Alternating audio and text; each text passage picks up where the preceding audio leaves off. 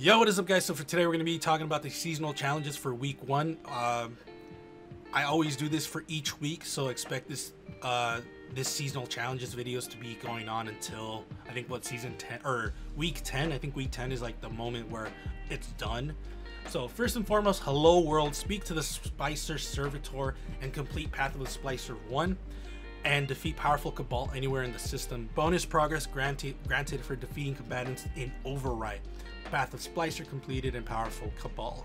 What's really cool is you get uh, the Scout or not the Scout Rifle. You get the sidearm and decrypted data, which I don't know how much 150 is. Well, we're gonna have to check it out maximum override, complete override missions, and deposit data spikes as a team. Bonus progress granted for each piece of Season of the Splicer armor equipped. That's weird considering like I can't unlock that until I'm playing override, so that's funny to me. Ethereal Splicer, collect ether by plane strikes, gambits, crucible, public events, and more. I don't, I don't like, well, we'll see that this might be the equivalent of like the Cabal Gold, so we'll see.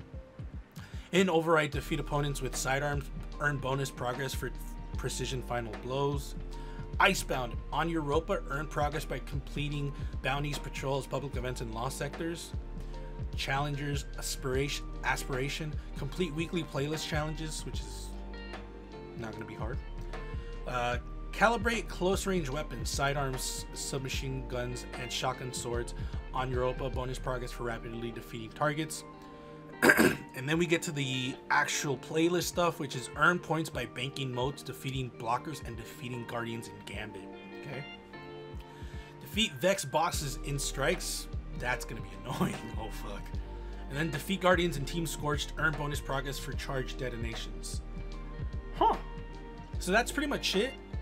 Uh, let me know your thoughts in the comments below. These are not going to be that crazy to complete. The weak ones usually are not. But yeah, overall, I'm pretty much excited for these. And let me know your thoughts in comments below. Uh, if you have any comments, questions, concerns, let me know in the comments below. Other than that, I will see you guys later.